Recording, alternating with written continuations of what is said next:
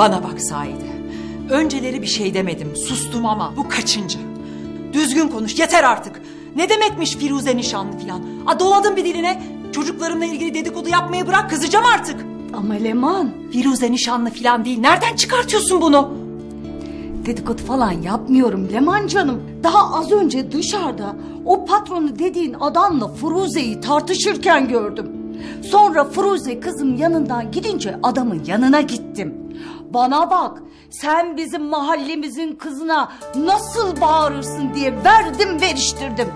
O da bana nişanlımla kavga ederim. Sana ne demesin mi? Ne? Ay, Leman. Leman dur canım. Dur iyi misin gel şöyle.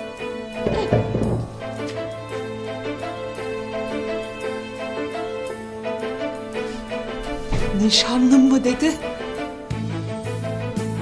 Yoksa sen de mi bilmiyordun?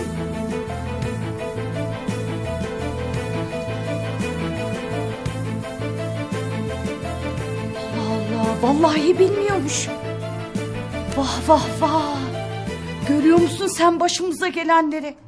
Furuze sen git annenden habersiz nişanlan. Hangi anne hak eder böyle bir davranışı canım benim ya?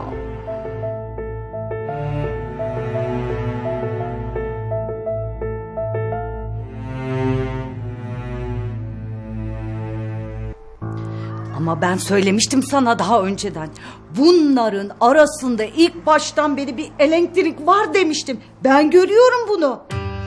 Ay, daha bunlar kavga ederken bile biz aşığız diye bağırıyorlardı. E görünüyordu bu dışarıdan.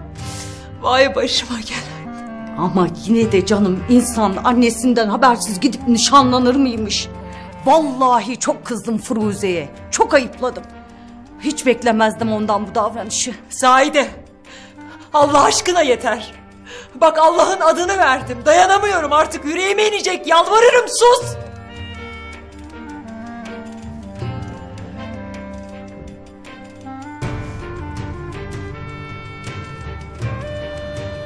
Nasıl yaparsın bunu Firuze?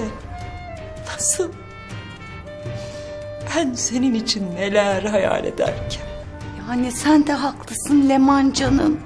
Üç tane çocuk. Hangi birinin peşinden koşacaksın? Hangi birini takip edeceksin?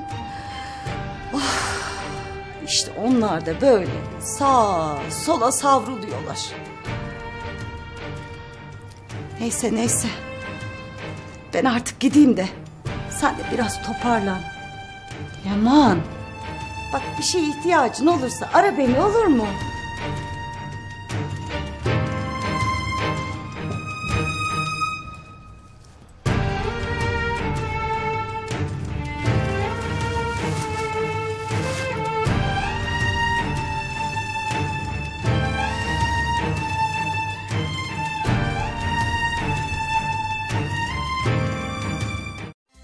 ATV kanalına abone olun, hiçbir şeyi kaçırmayın.